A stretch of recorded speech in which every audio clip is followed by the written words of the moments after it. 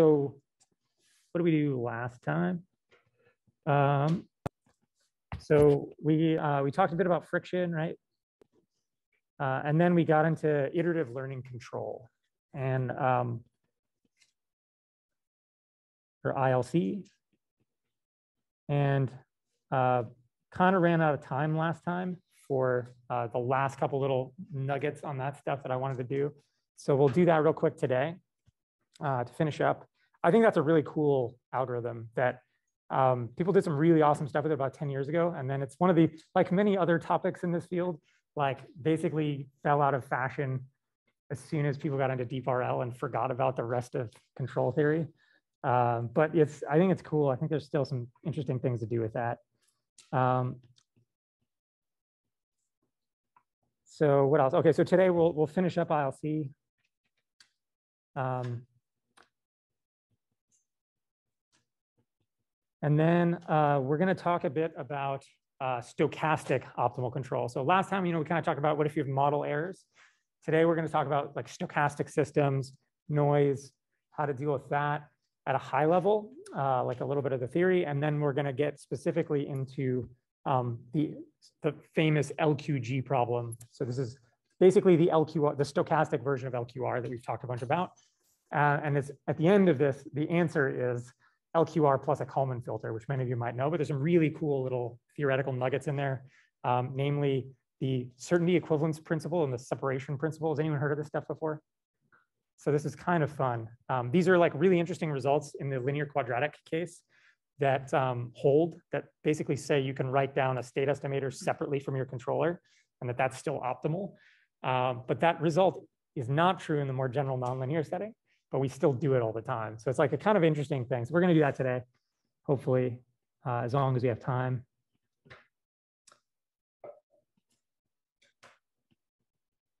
These are like super classic results that are, I don't know, the bread and butter of, of control theory. So this stuff and then LQG problem. Okay, cool. Any questions about any of that? All right, let's do it. So um, just to kind of finish off from last time, um, I'm gonna go ahead and like summarize what we did uh, on the ILC stuff. We'll write down the ILC algorithm kind of at a pseudocode level and then talk about a little bit about why this should work um, so to summarize last time, and I'm not going to write out all the details. Um,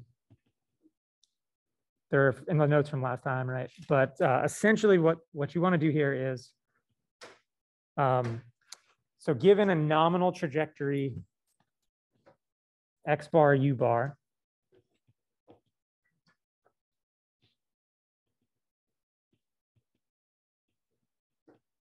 we have some x bar, u bar uh, computed with a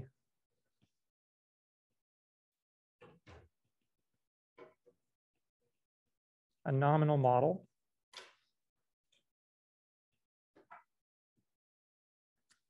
Um, what we want to do is use rollouts on the real system to compute an update to the u's, so like a, a delta u, such that the true system achieves the x bar trajectory, or tracks the x bar trajectory.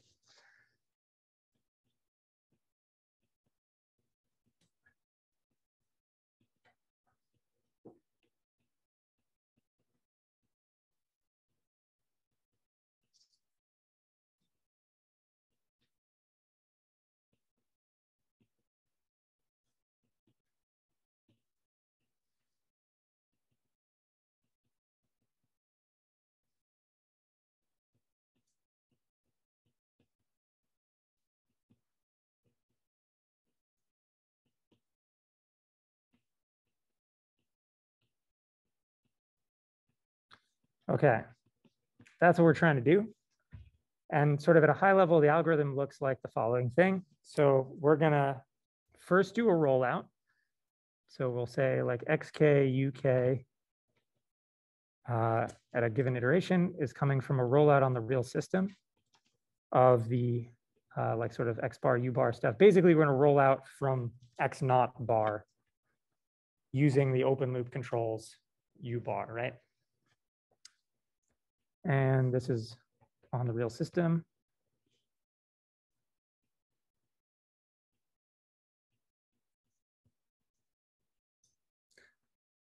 Then we're going to um, solve the following optimization problem. We're going to compute a delta x, delta u based on um, solving the following sort of local optimal control problem.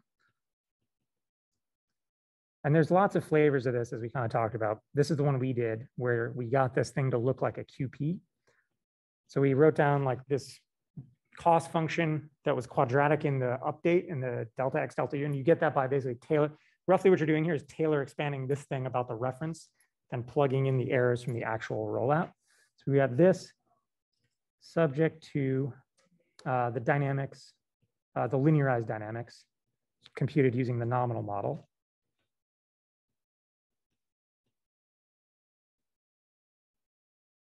And then also, you know, possibly subject to other constraints, right? So you can put torque limits on this in particular, or really kind of any other constraints you might you might care about. You can enforce constraints in here. This is why you want to do it as a QP and not that sort of straight up Newton update that we talked about at first. Um, okay, so this thing. This is a QP. If you basically, you know, expand J to second order and delta X, delta U, and then you have the linear dynamics, right? And then once we've solved that problem for delta X, delta U, we're gonna just update U bar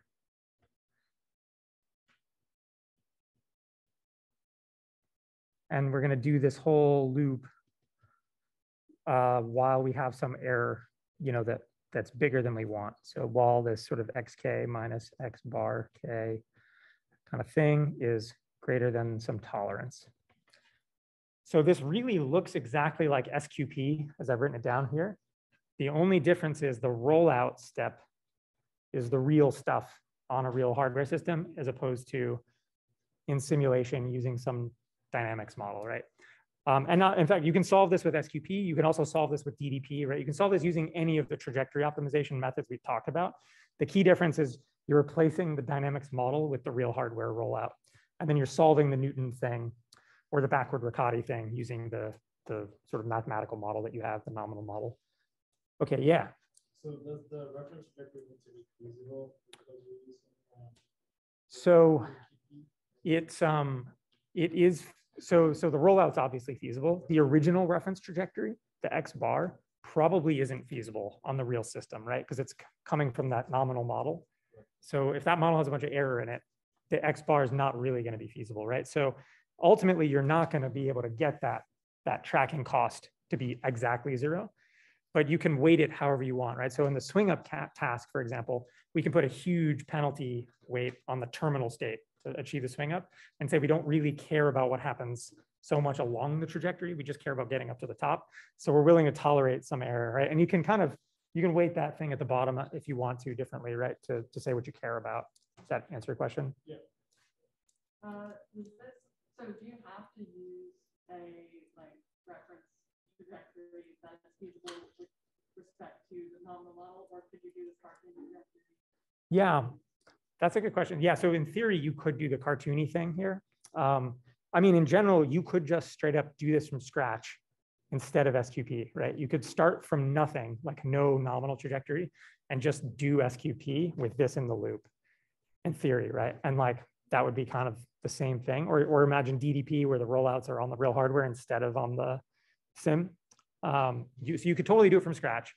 It's just that you know you're now talking about doing maybe dozens or even hundreds of trials instead of a couple, right? So you that this is basically like a recipe for doing sim to real transfer when your you know sim model is bad. So you do the initial traj opt using the nominal model all in sim. So you can do that in seconds, right? And then I can take that and transfer to the hardware in like five, six trials instead of if I had to do the whole thing on the hardware, it might take hours, right? Does that make sense? all of this is way more efficient than doing like black box RL. It's kind of the, the other point to make here. Um, so like, all right, so any other questions about this? Everybody good? Okay, so um, I'm gonna go, we'll go do this in a sec. I just wanted to sort of like a little kind of aside on like why this should converge and why this is like maybe a reasonable thing to do in general that may be interesting to people. Um, so in particular, right, we're using this nominal model that we know is wrong to compute all the Jacobians and stuff, right? So why should that still work? And the answer is basically that um, Newton's method still works in general, even if the stuff in the KKT matrix is off by quite a bit, actually. And this is kind of the theory behind, if anyone's heard of quasi-Newton methods or like BFGS, LBFGS, these kind of things, that's got, it's the same idea. Like those things are all approximating the Hessian in various ways. They don't get the same uh, convergence rate as, as full Newton with exact derivatives, but they can still achieve pretty fast, in fact, super linear convergence, right? They're still better than gradient descent. They still do quite well, even if there's quite large errors in the Jacobians. So that's kind of what's going on here. Um, so to sort of formalize this, um, we've already seen, you know, various approximations to Newton. Um, in particular, we've done Gauss-Newton, right, which is already an approximation to the Hessian. Uh, and there's lots more things like that.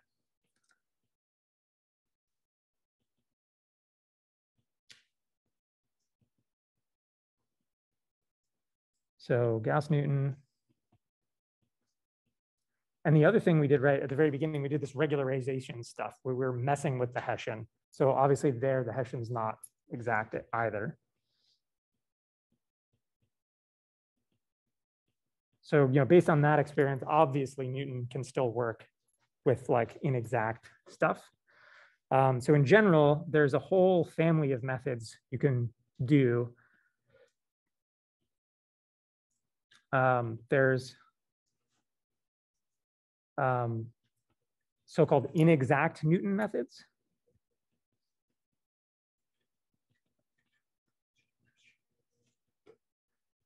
And there's uh, also so-called quasi-Newton methods. These aren't exactly the same thing.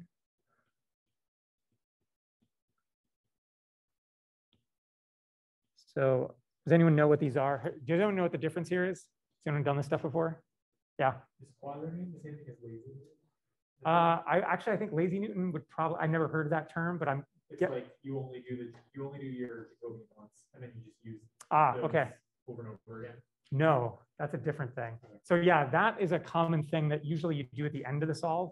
And usually we call that like polishing or something. So no, these are different things. So um, quasi-Newton methods are things like BFGS, where you do that, but then you do rank one updates on the matrix as you go. Basically, you do like finite difference updates based on your history of gradients. You can update the, the matrix. Um, and then inexact Newton methods are where you have a giant matrix that you don't actually want to factorize and form in memory.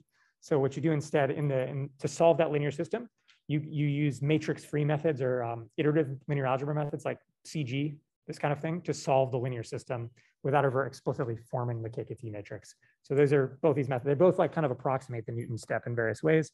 And the reasons for these things is so you can solve really huge problems without like uh, so you can scale it and not have to solve that linear system, which can be quite expensive. Um, there's lots of versions of this. The most common ones, as I just kind of said, would be BFGS, uh, Broyden, if anyone's heard of Broyden. Uh, Anderson acceleration is another version of this that maybe is popular now.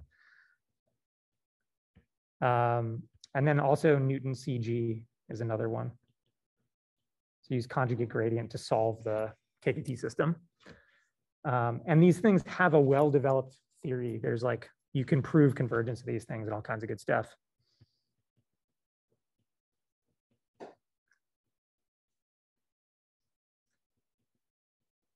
So approximating that thing is fine. And that's exactly what we're doing. And we're kind of doing the lazy Newton thing here, right? More or less. Okay, so for a generic root finding problem,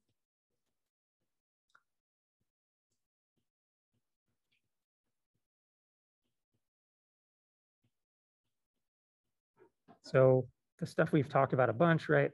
Where we kind of Taylor expand this thing to first order.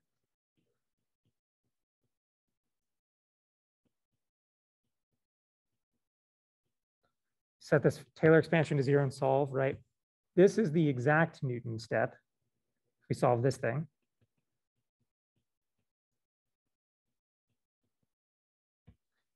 And there's uh, an kind of trivial inequality that you can write down. So as long as the delta x you get from whatever you're doing, whatever quasi-Newton approximate thing you're doing, satisfies um, the following thing. Should write this down on the other line. So as long as it satisfies this,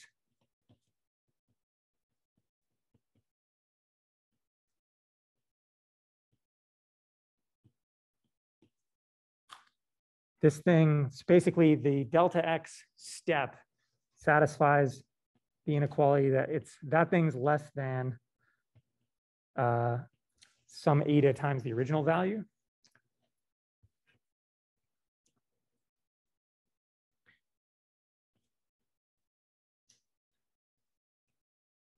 For some eta less than one. Uh, and an exact Newton method will converge. It's basically saying as long as you can get a, a descent step that's like got this sort of geometric factor eta out front, which is basically a convergence rate, this will work. And in general, this is slower than real full up Newton.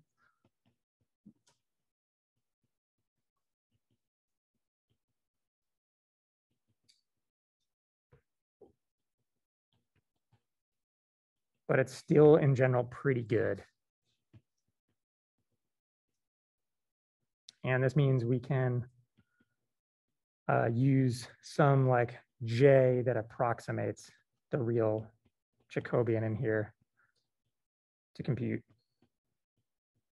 the delta x, right? And you can imagine, right, if you have, if you know a lot about the problem, you can kind of like say based on your approximation, you can bound everything and actually compute the eta for simple problems and, and have like pretty sharp theoretical results that this should work. Okay, so that's just like a, yeah,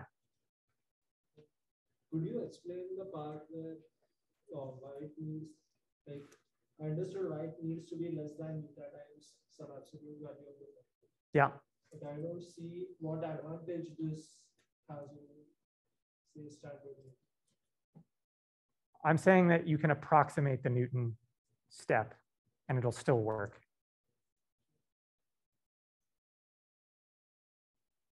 It's not better than Newton, it's worse. Right, so like in general, these approximate Newton methods will have worse convergence rate, et cetera, et cetera, right? But what this is saying is like, it's okay to approximate this thing. It'll still probably converge as long as your approximation is not super terrible. And that in fact, the convergence rate's not that terrible either. It still works really well. Um, so, so basically this is saying in the ILC algorithm, we're using this nominal approximate model that isn't matching the real system, right? Uh, and it's saying base, and we're using that to compute the KKT matrix. And then we're using like the real stuff on the right-hand side. This is saying basically, as long as that nominal model is kind of in the ballpark, the Newton step you're computing with ILC will still give you a descent direction and still like actually converge as long as the model's not so far off, right? So even though it's an approximate model that's not exactly matching the real system, this result is basically saying, yeah, that's okay, you'll still converge. Um, as long as the error is kind of bounded. Does that make sense? Yeah.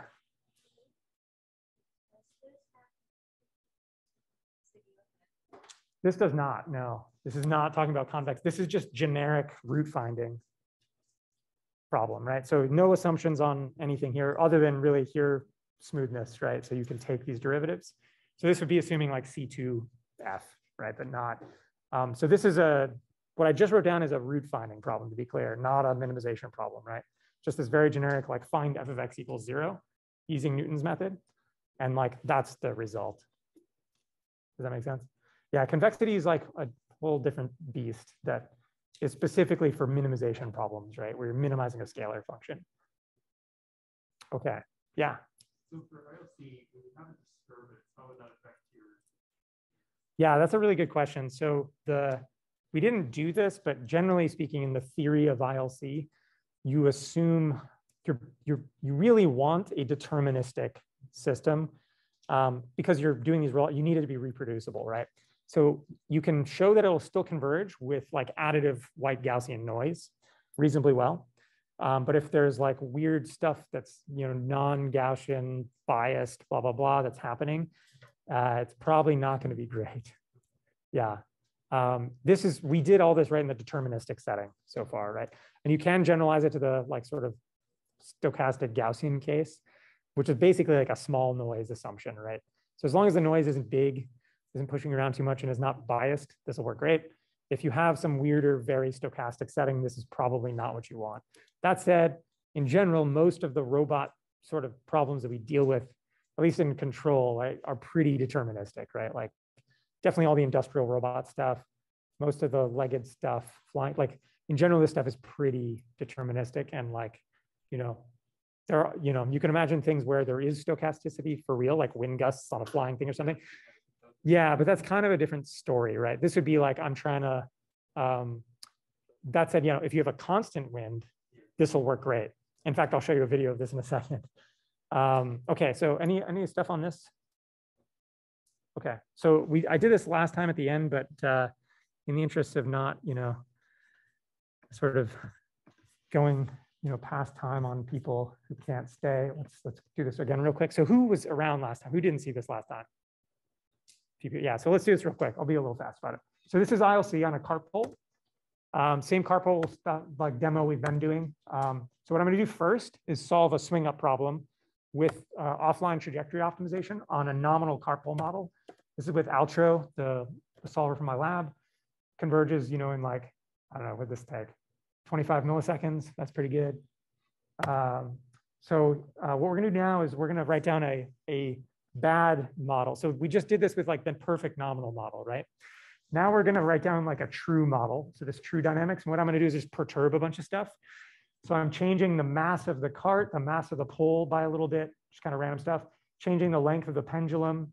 And then, so that's all kind of in the same model class, right? Um, and then I'm also going to add in a really gross nonlinear friction term, which is this is intended to approximate Coulomb friction. So this weird tanh function stuff, it's kind of gross, right? So, okay, so that's our true dynamics model. And this is intended to be kind of realistic. Uh, so there's like stiction, that kind of stuff.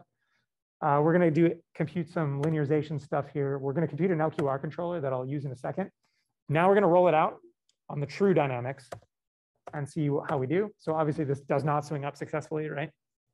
Um, so uh, this is just plotting, everything's open loop. What I can do now is I can throw an LQR tracking controller on it. Try this again. So you can see with LQR feedback, this looks really good. It swings up, but the catch is it's violating the torque limits on the actuator. And this is kind of obvious, right? Because I put, I made it heavier and I put friction on it. So it needs more torque to swing up, right? So um, this is kind of bad though. So if I go in here and I enforce the torque limits in the simulation so that it's clipping, uh, now it's going to fail again, right? And LQR, because LQR can't like have access to that extra torque. Okay, so now we're going to do ILC. I'm going to take the um, LQR controller out. We'll just run it open loop a bunch. So we'll go ahead and do that again. All right, falls down. Here's the ILC part. So I'm going to solve a QP. Um, I'm writing down a tracking cost. And in particular, the tracking cost is weighting the, the theta state really heavily and saying, I don't really care about the cart position. And then, yeah, some nominal cost on the, the controls, whatever. Here I'm computing that gradient vector on the right-hand side from last time. And you can see this is um, the nominal trajectory showing up in here, right? So this is getting at, uh, updated at every time through the loop. Um, also going to write down, so here's the dynamics constraints, just like before, right? A minus BI and that big Jacobian. Uh, and then also over here, these are my upper lower bound torque limit constraints. And here the nominal trajectory showing up in here, right? Because I'm enforcing the torque limits on delta U that's inside this QP. So I have to sort of adjust that every time based on the nominal thing. I'm going to go ahead and solve this with OSQP. And then I'm going to update just like we wrote down. Cool. So I'm pulling the U's out and updating U. Now I'm going to go back and run this again on the true dynamics. And we should do a little better. That's not spectacular, but we're going to run this a handful more times. And you'll see pretty quickly. So that's like one trial, two trials, getting a little better, right? Um, three trials, getting better. And now like a couple more times and it'll nail it. So This is like five times, right? It's basically there now on the swing up. Do a couple more. So six rounds, basically there. Do one more maybe. And this is like the seventh trial, right? It's basically there. Maybe we'll do one more for fun. And you'll see that like basically this thing nails it. Yeah, so now it's like perfectly hitting the end state basis. So it has eight trials on the on the nominal. Like if you were doing this on real hardware, right? This would be like, you know, whatever weirdo nonlinear friction is in there, whatever model mismatch, like under 10 rollouts on the real hardware, and it's basically nailing it perfectly, right? Uh, okay, so that's ILC working. Any questions about that? So here, we, kind of set the problem to make outdoor tracking fail because we said that we made have your use of friction, so it was. Yeah. How valid is it to maybe set conservative control limits and um, upper bound our weight, our, our masses? Yeah, Such that we're pretty sure that um, tracking outdoor works. yeah. So this is like a classic move, right? So you would conservatively set those control limits in the offline optimization well below the actual ones to give your tracking controller a little breathing room. Mhm. The other similar thing that's super common is if you have obstacles, you do obstacle inflation.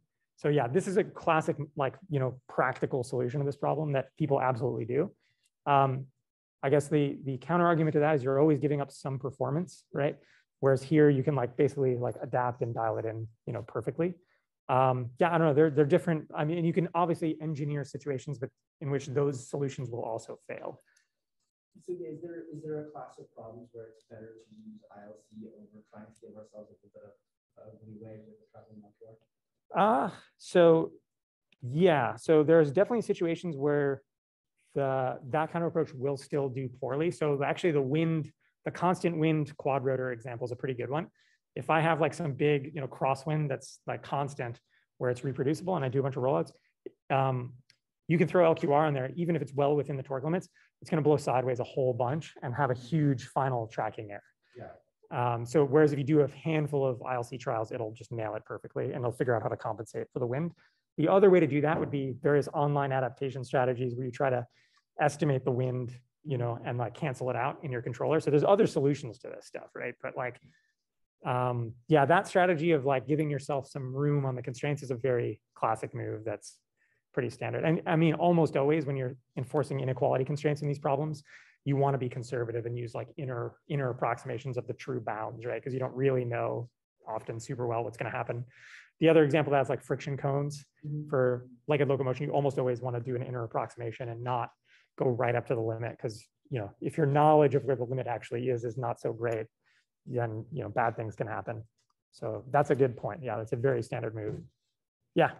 So just to clarify how, how you could use it, like, say, like, on a robot, um, would the move be to like initialize some reference trajectory, like, at every step, I'm assuming, so these routes are like twenty-five milliseconds, right? So you need some like five iterations to converge pretty well, like, you would run at around like 10, 10 hertz-ish, like a bit little bit, right, like five iterations. And then, uh, like, would you do this at every, like, like, every ten-ish hertz, or? No, no, no. So this is like a one-time thing. Okay. So like I have some nominal, like think of this as like there's a task I want the robot to perform, right? And it can be whatever. It can be like a long, complex thing that like some industrial robot's doing, right? Whatever. As long as that task is like repeatable and deterministic, um, if I have some tracking error, right, I can basically go do this a handful of times, you know, five to 10 times, and just nail the tracking performance to be perfect. And then as long as the model doesn't change, right, as long as the hardware is consistent, it's good to go. You can just do it forever after that. Where this might need to get done again, right? In that example, right? If there's like wear and tear on the, you know, stuff and you get like, you know, bearings wearing and different friction properties over time, stuff like that, then you'll start to get more drift maybe. And then you may want to do this again, right? Um, and there's various flavors of this that you could call like online learning where you kind of constantly be doing this, right? All the time and, and updating. So you can do that, right? There's a lot of flavors of this you can imagine doing. It's a it's a very general idea. This is like one particular flavor of it um, that uh, I want to show you guys. So before we like leave this topic, I want to find um, the video that I had up before for last time that I now lost. So give me one sec to pull it up. Some YouTubeage. Uh, where'd it go?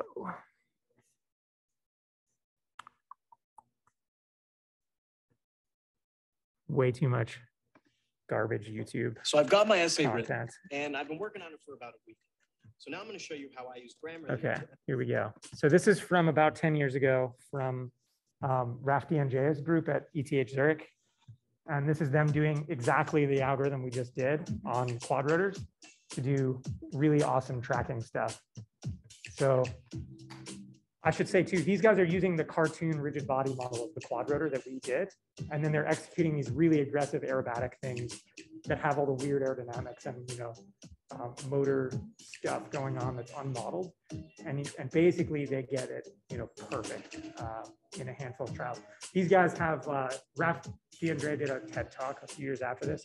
where they did like insane demos of aerobatic crazy stuff and like had a demo where they put a wine glass on top of the quad and flew it around without spilling. And all of it's done with this basically. So you can see how bad that is. Three trials, you know, five trials, it's like really good. Uh, This is the wind gust thing we just talked about. So they get this working, they turn on the fan.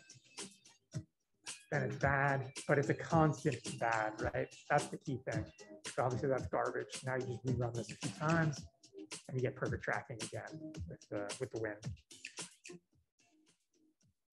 So yeah, pretty cool, super effective, cheap to do, works. Yeah, Uh, we might have talked about this last time, I'm but is there any way to like reconstruct the actual dynamics model from this? Like, So no, I mean, this is very explicitly not trying to do that. And like, that's, there's a reason for that, right? So like actually constructing the full dynamics model, um, it's sort of ill-posed and it's also like a much bigger problem, right? Like trying to have, so just this one trajectory doesn't really tell me a lot about the dynamics, right? I need to like have enough samples over enough region of the state space, even just locally around this trajectory. I'd need a bunch of samples in the neighborhood right? To, to fit some kind of dynamics model that's going to be reasonably accurate in the neighborhood of that nominal trajectory. Um, and it also, like even a linear model, right? You think about it, that linear model is telling you if I perturb the state in all these different directions around that nominal trajectory, it has to tell me what's going to happen, right? So just having the one trajectory data point is like way insufficient. I would need like roughly speaking, a sample point, you know, a trajectory sample in like every possible perturbation direction around that nominal trajectory to get enough information to just fit a linear model. If that makes any sense. And then if you're talking about doing a more general nonlinear model, the situation is, you know, maybe arbitrary. Like if you wanted to like learn a neural network model for the dynamics, right? That would take thousands of rollouts to get enough data, even to fit like a kind of reasonable local model in some region. Does that make sense?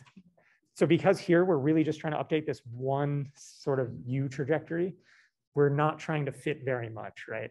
It's like you're, you're trying to fit less stuff to the data, right?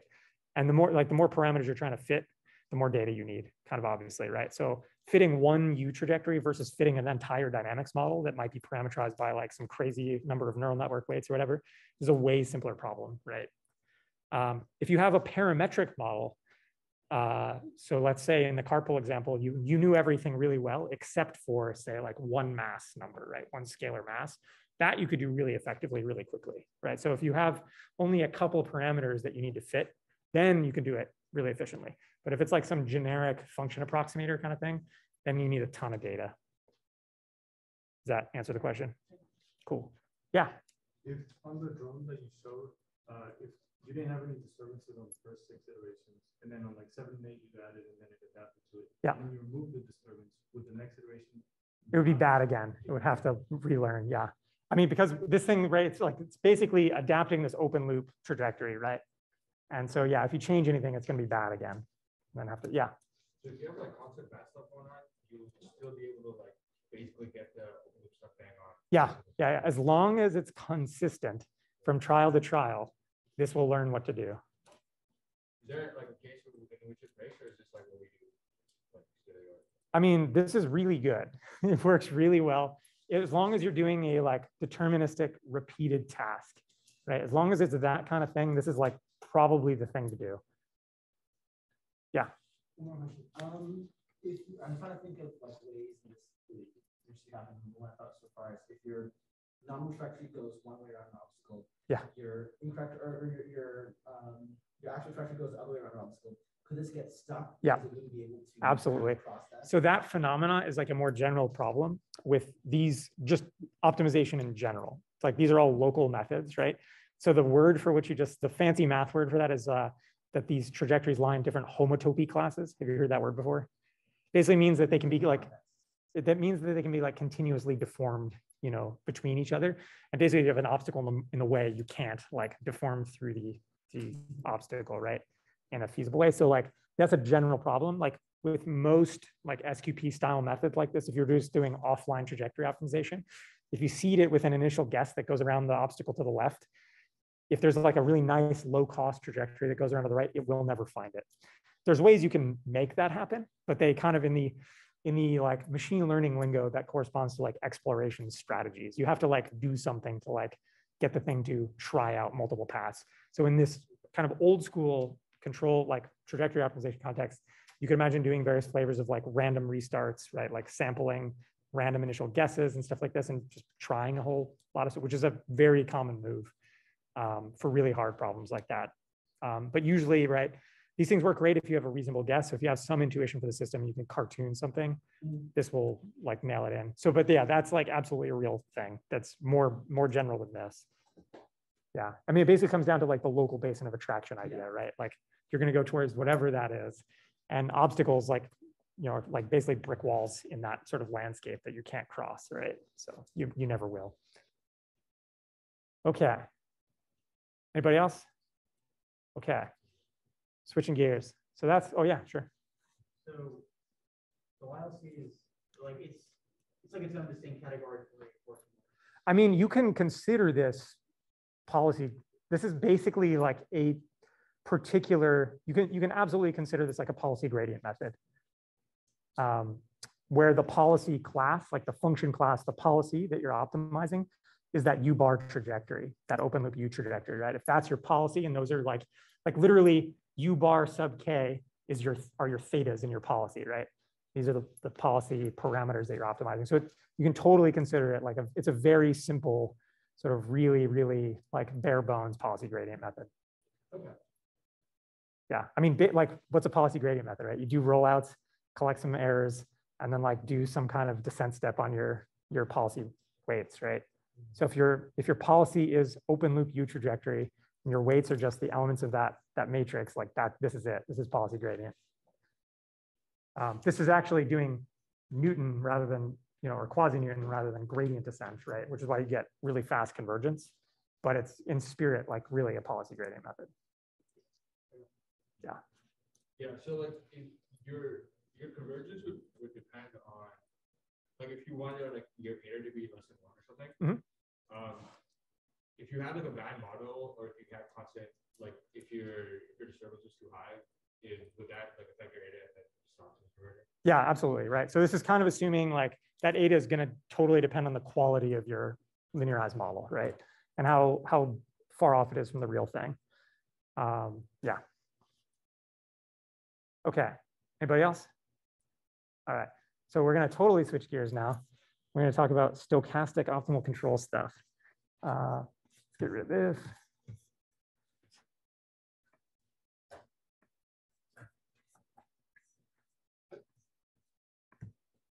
Okay, cool. So uh, we'll see how far we get on this story. So stochastic control. Just as a short, like who here, like if I say like multivariate Gaussian, is this cool with everybody?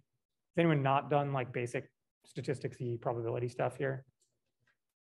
Everyone's good? Okay, well, we'll, we'll review a little bit, but I'll, I'm gonna start throwing around that kind of language. So hopefully that's all right with everybody. Okay, so so far we um, we've assumed that basically um, we know the systems. So you know we talked about ILC is relaxing, you know, knowledge, perfect knowledge of the system's model, right?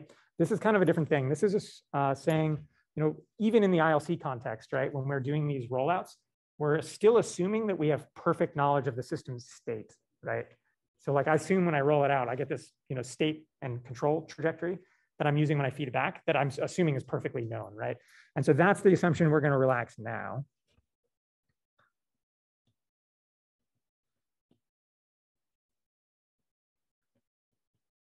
So obviously in general, like we can't even directly measure the state in a lot of situations, right? You get like noisy measurements of things related to the state, but like not necessarily the whole thing. So the question is, what happens to like everything we've talked about uh, when all we have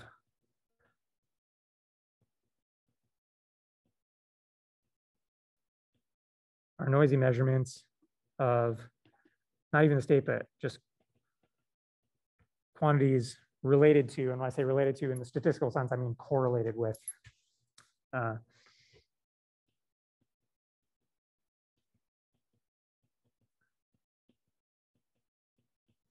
Okay, so what happens? So, so we get measurements of these things y that we assume are functions g of, of x, right? So assume there's some state x, we don't have direct access to it. All we have access to are these y's that are functions of x, right?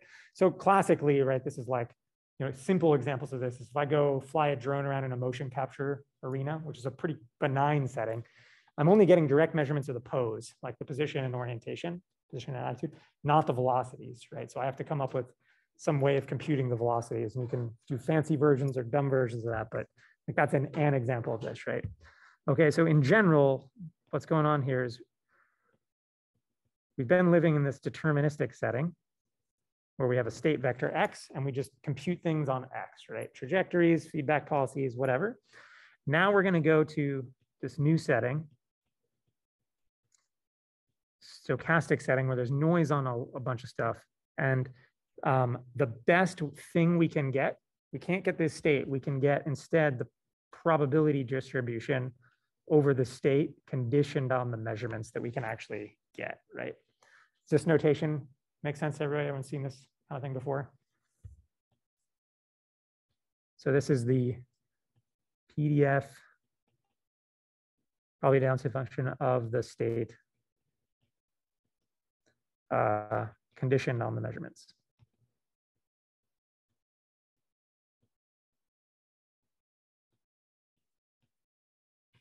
And yeah, I think probably a lot of you have done like RL flavored things before. So this is kind of the, the typical setting of, of RL. Um, okay, so what we can do now is write down basically the stochastic generalization of the optimal control problems that we've been solving, uh, which look like, you know, essentially all we do is everything we've done so far, wrap it in an expectation. That's it. And that's the, the stochastic version of the problem.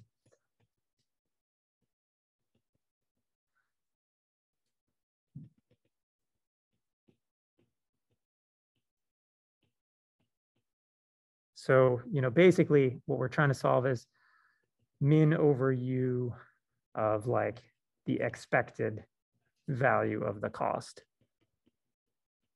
Right? Almost the same thing. Um, okay, so in principle, in theory, um, we can just solve this with dynamic programming like we've been doing. Um,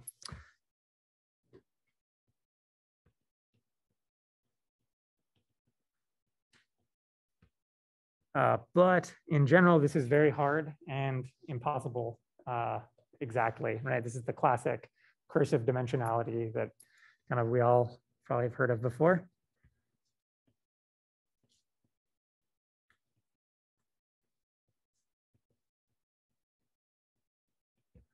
Okay, so um, questions about this? I'm good with this, yeah. What is PDF? Probability density function. So probability distribution, right? So like what we're gonna do next is a Gaussian. So just think about a normal distribution, right, over the state for, for today. Yeah. It's the expectation of the cost.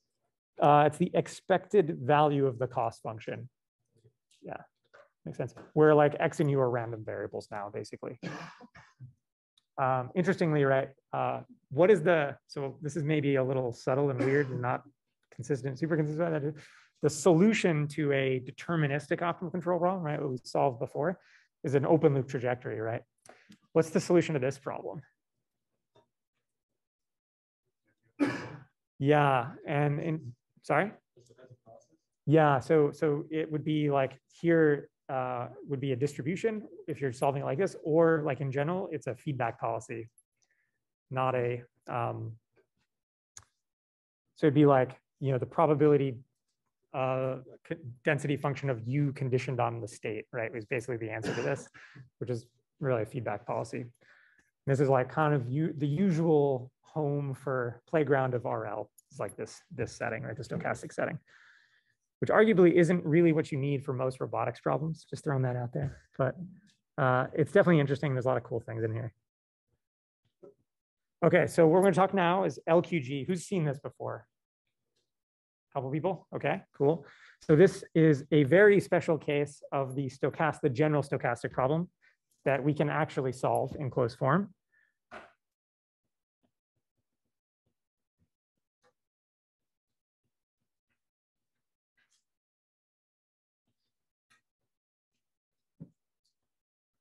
Okay, so we have L for linear dynamics, Q for quadratic cost, and G here is for Gaussian noise. Okay, so this is like basically the stochastic version of the LQR problem that we've already done and has some fun twists and turns in the in the story. So we're gonna sort of dig in this a little bit. So the dynamics here are we're gonna do discrete time like before, and it looks almost the same. And uh, we'll do time invariant just for simplicity, but it generalizes in the sort of obvious usual way that we did last time when we did LQR. So this is the deterministic dynamics that we had last time. Now we're gonna add noise to the story. So we get this noise added on here. And this is called process noise. So this is, you know, noise in the dynamics. We're saying the dynamics themselves are stochastic, right? Not just the measurements, but the underlying like physics has is noisy and sort of unknowable in the classical way we we like. Uh, then we have a uh, measurement model like, so we wrote down the generic nonlinear version before. Here, we're gonna assume a linear measurement model. So we're doing the, the LQG thing. So here we assume that the, the measurements Y are linear functions of the state. So here, like the obvious version of this, like if I have a particle, you know, double integrator or whatever, where the state's position and velocity, let's say I only have measurements of the position, right? So then the C matrix would be like an identity block and a zero block that just pulls out the positions. Right, so that's kind of simple example is, and we assume also the measurements are noisy as well. So here we're gonna have this VK added on, and we call this measurement noise.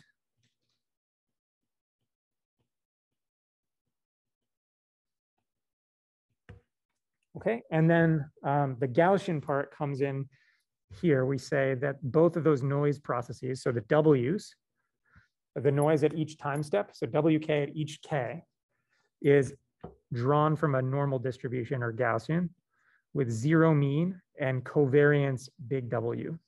And again, you can make all of these things time varying, right? So the, the A's and B's can be sub K's at uh, each time step. So can the noise covariance. So that big W can also be a function of the time step and the derivation still works. Uh, and then the VK similarly, that's a zero. Yeah, zero. So have you seen this notation before? This is like, this means drawn from that squiggle. So it says WK is drawn from a normal distribution with zero mean, covariance matrix W. That's what that notation is. So I'll, I'll write that. Just kind of, yeah, this is stuff we haven't done yet, like in terms of math. So, okay, so this says W is drawn from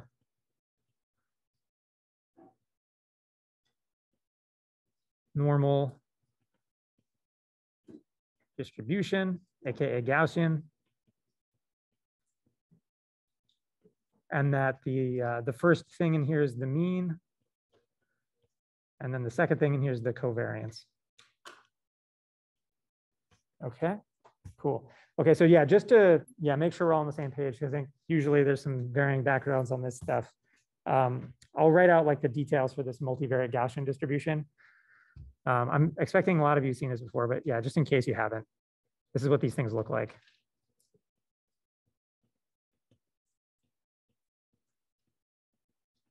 So uh, probability density function P of X, which is giving you the probability, you know, of uh, at a particular X, right? So for a general n dimensional Gaussian, looks like this. Uh, so you have this normalization constant out front, which is just there to make everything integrate up to one so that, you know, integrated over all space, you have probability one. Looks like this, where n is the dimension. And this is the determinant and P, big P here is the covariance matrix. And then it's the exponential of uh, minus one half x minus mu, where mu is the mean, transpose P inverse x minus mu. And sort of intuitively, also write some stuff down. So mean here, the mean of the distribution is mu.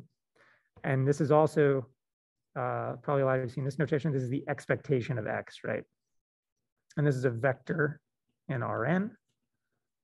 And then the covariance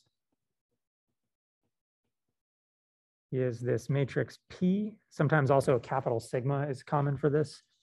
And this is the expectation of x minus mu times x minus mu transpose. And this thing is an n by n symmetric positive definite matrix. So the way we write that is S n plus plus.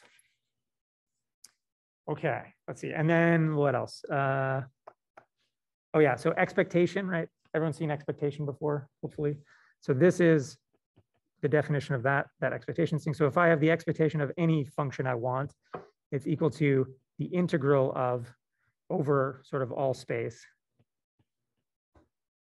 uh, of the that f of x times the probability density integrated up. So that's, I think this is all the statistics. Oh, one, one last statistics thing. Um, so, so let's see. Uh, yeah, the last thing we need to know for this is uh, what uncorrelated means in a statistical sense.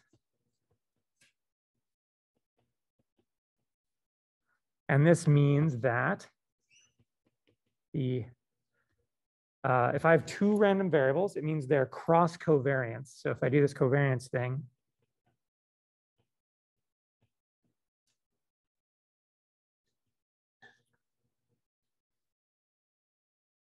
is zero. They're not correlated at all. And where these, the hat means mean. Uh, maybe I should write that up here. This is a common notation. That's not for me.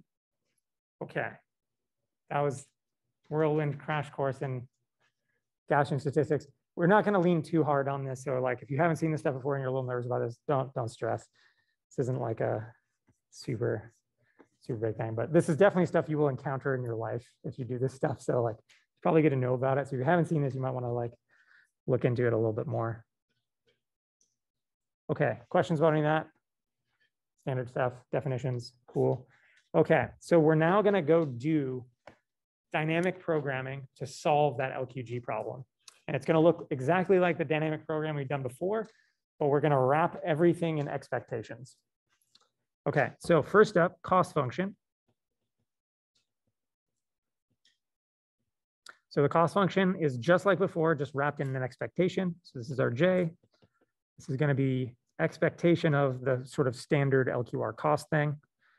And I should probably put one halves on Steph, but I'm going to skip it because it's going to be, this is going to get a little gnarly in terms of notation. So bear with me. Okay, so we got xk transpose q, xk. Okay, so that's the standard LQR cost, right? Just written, wrapped in an expectation. Everyone happy with that? So next move is we're gonna now do the Bellman backup, right? The one step, you know, where, so we're gonna um, write down like VN, and then we're gonna try to go backwards.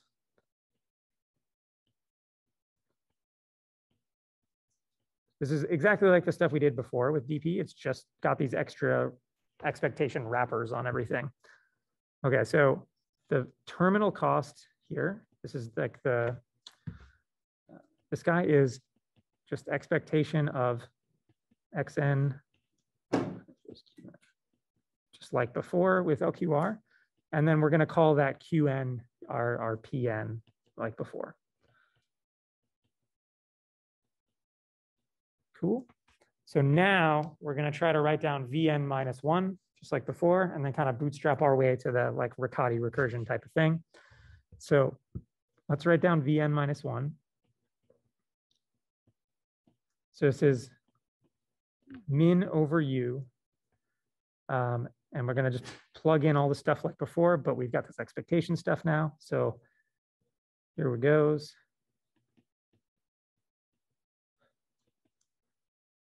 U minus one. Okay, so that stuff, now we're gonna get the, plug the dynamic, yeah, Um, so for the cost function, is that the summation of, and it includes the Q and the R terms? yes. Yeah, so is that better? Okay. Okay, here we go. Okay, so we got this term and we've got the dynamics term. So that looks like AXK, uh, xn minus one plus bun minus one. Now remember our dynamics are stochastic, and we have that process noise in there, right? So we got to put the process noise in plus W n minus one. And that goes, you know, kind of into the, the PN thing there.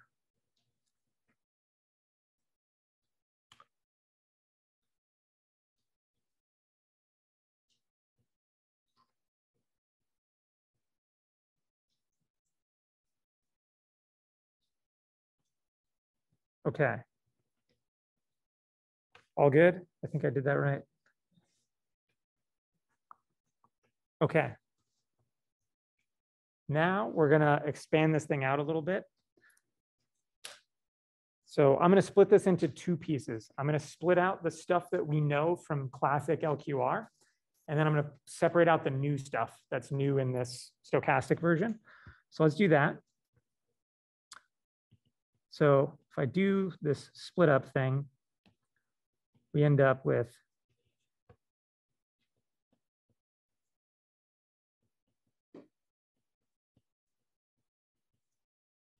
this stuff that we saw before. And uh, the dynamics, right?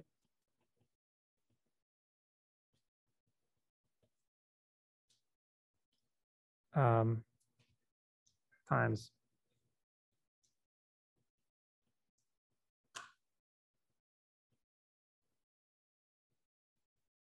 Okay, so this is standard LQR stuff.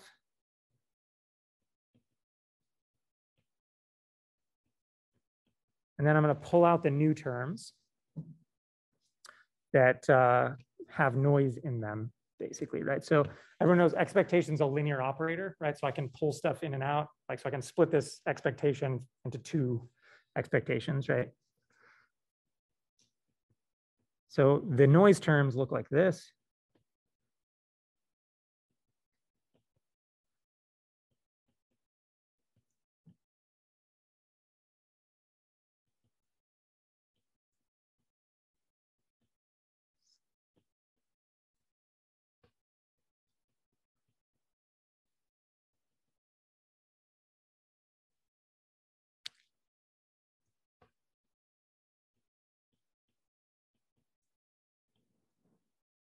Okay, here we go.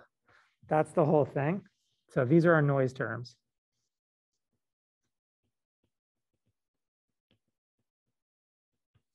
Okay, now here's the fun part.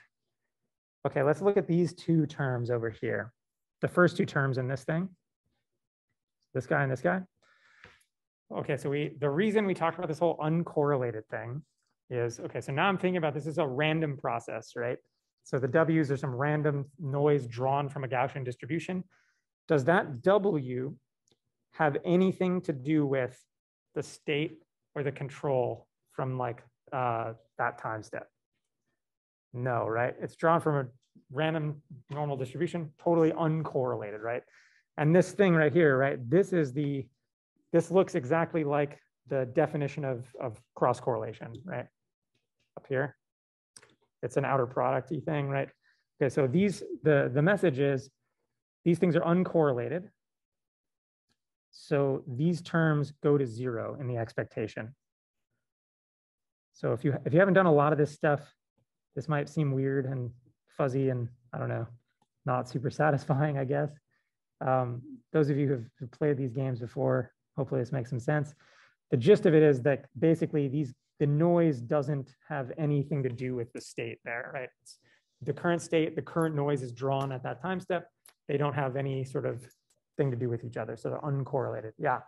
Isn't that because the expected value of noise is equal? Yeah, but so that's absolutely true. Right? We're, that's because we assumed up here in the definition of W that it's zero mean, right? So you're absolutely right. Expectation of W by itself, zero, totally true. Here, yeah, that's exactly right. So the stuff is basically a constant, effectively a constant times that thing. So it comes out and it's zero, right? So that's exactly right. So now though, what about this term? What's that term's expectation? Is it zero? Anybody have any thoughts on this? Anyone? It's not zero. It's very closely related to the big W, but not exactly, right? So big W is little w times little Yeah, w transpose, right? So this has the P sound. So they're very closely related, but not exactly the same thing. Um, so in particular, this is a scalar, right? It's a scalar inner product. Um, you can write this in terms of big W. It's related to the trace of the big W. Um, do you actually, do you know the trace trick? It's kind of fun. Okay, nah. So this is actually, if you wanted to write this down, it's trace of big W times P, Oh, which is fun. Fun fact. I don't know if anyone cares. Okay. Well, actually, we'll talk about the, tra- the trace trick is fun. That's a good one. Uh, So the point is this thing's a constant. Okay, so the, the punchline from this entire exercise is that when I add noise to the LQR problem, I get all the standard LQR stuff. Then I get a bunch of noise terms that either cancel out to zero or is a constant. So what this is telling you is that none of the noise terms affect the answer. All it's doing is making the entire cost higher by some term that just depends on the size of W. So the more noise, the more the cost is going to go up on average, but I can't really do anything about it in the controller. So this is saying to you that the controller has no, is not impacted at all by the noise. And the answer to this problem is the standard LQR controller. Does that make sense to everybody? Yeah, cool.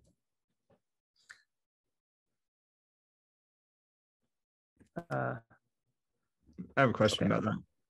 yeah, sure. Um, so W, like the the covariance can be state dependent, right? Of of like little W.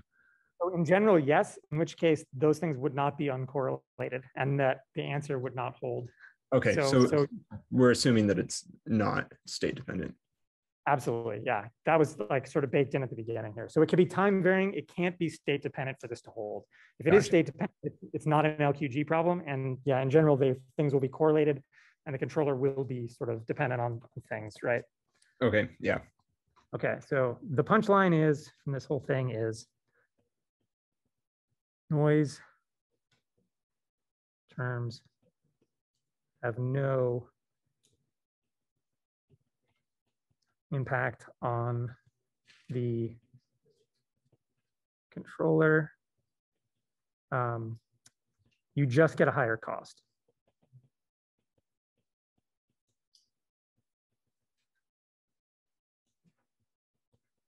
Okay, that's fun. Uh, some, yeah, Just a quick question, how would you deal with, uh, a situation where you do have like, uh, state dependent or observation dependent? I guess noise in the observation yeah, so in general, you can't do it optimally, uh, right? Because that's basically the, the ultimate answer to all of this is that this is what's called a POMDP, partially observed Markov decision process. Solving those in like you know, continuous state and action spaces is like awful and terrible and intractable. And you have to do approximate things, right?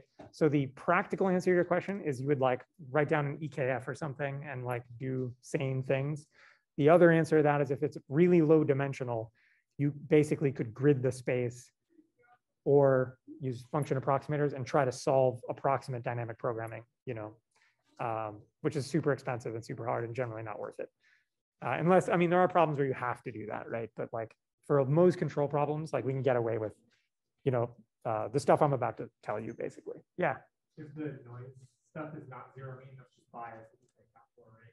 that's right. Exactly. Yeah. Basically, yeah, you, what you end up doing is like augmenting the state or like uh, wrapping that in somewhere else um, so that it fits this. Basically, the, L, the LQG problem, that is the definition. There's lots of games you can play to take a problem that doesn't exactly fit that setup and transform it such that it does. Um, the classic examples of this are, yeah, state augmentation, uh, et cetera, et cetera. Yeah, to, to make it fit this set of assumptions. Okay, anybody else? Yeah. Here it does. For this all to hold, it does. Which part should, are we making use of? Sorry? Which part of it are we making use of for this to be true? Like, We assumed it up front at the beginning. And here, um, I mean, you can probably relax some of these things right here. Um, for linear systems, I think the only thing we're really assuming here is that the distribution has uh, zero mean and co known covariance. So I, like strictly speaking, it could be uh, some non-Gaussian distribution as long as it's um, has those first and second moments, I guess. Um, think that's true. Uh, there's some other places where it will have to be Gaussian, but we haven't seen it yet. Yeah. Any other questions about this? Yeah. So basically what we're saying is like, if you have a system such that you know there's Gaussian noise in the measurement and um, whatever else, like you just solve exactly like an LQR. Yeah. Basically, what this is saying, we'll get to this. Yeah, I'm, I'm going to write it down now because we're like saying this multiple times. So here's two things that come out of what we just did that are interesting and worth knowing about. So the first one is called the certainty equivalence principle. These are like classic, classic control theory results that like, you know, you should get in an optimal control class. So, so here you go. So here's what we are going to talk about. Certainty equivalence principle says the, the optimal LQG controller is just an LQR controller where you replace X with expectation of X. Simple enough, right? That's basically what that result says, right? Um, then, so that's called certain equivalence. Then this thing, uh, this related result called the separation principle says that for LQG, we can design an optimal controller, and the answer to that is LQR. And then we can design an optimal estimator separately that gets us expectation of X to plug in. We hook those together, and that's our feedback policy for the stochastic problem. And that, that is the optimal answer. So what it's saying is basically in this case, the optimal policy is you can actually split into two pieces, the estimator and the feedback controller, hook them together. And the only thing that matters there is the expectation, that, right? That has to get passed back and forth. Um, neither of these results holds in the general nonlinear setting. So if you have nonlinear dynamics, non-Gaussian noise, whatever, um, it breaks both of these results.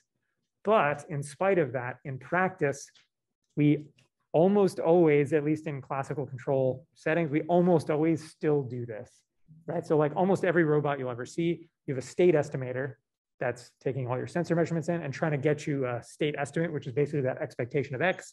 Then you have some kind of feedback controller that's taking that X, which is really an expectation, right? Or some kind of mean or maximum likelihood estimate, and assuming that's the true state, and then making all your control moves based on that, right? So that works great as long as your your state estimator is really good, right? And your noise is unimodal and stuff like that.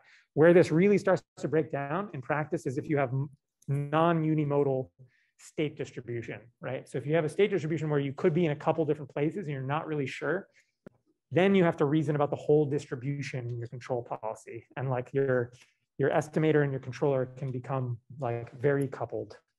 Um, so you can imagine, right, in the more general case, what this is kind of getting at is that you can have coupling between your actions and your measurements such that in order to actually observe the state, you have to do certain control moves to make things observable. And so your estimator and your controller are like intrinsically linked and can't be separated, right? That's kind of kind of the idea.